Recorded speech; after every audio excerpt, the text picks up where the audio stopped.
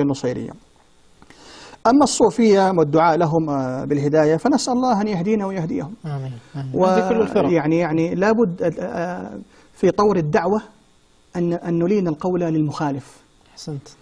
نحن الآن نتكلم في جانب التحذير قد نأتي بألفاظ شديدة أحيانا لكن الأصل أن أننا لا نتجاوز الحدود حدود الأدب حتى مع اليهود والنصارى بل حتى مع الذي لا يؤمن بدين. نعم. أو حتى الذي لا يؤمن بوجود الله عز وجل أصلا. نعم. فلا بد أن آه، يعني آه، لا نغلط عليه ونكون آه، في تحذيرنا بضوابط شرعية سائرين. نعم. هذا في جانب التحذير. أما في جانب الدعوة فلا بد أن ننتقل الألفاظ الطيبة اللينة الهينة حتى نؤثر في المخالف. نعم. وهذا موجود آه، في سنة النبي عليه الصلاة والسلام وفي القرآن الكريم.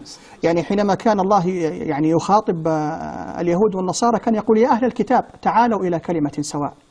آه، حينما كان يخاطب اليهود كان يقول يا بني إسرائيل نعم. نسبهم إلى إسرائيل وهو يعقوب عليه السلام من باب في طور الدعوة ويعني لين الكلام. فنسأل الله أن يهدينا ويهدي كل إنسان بعيد عن السنة إلى سنة الرسول صلى الله عليه وآله وسلم.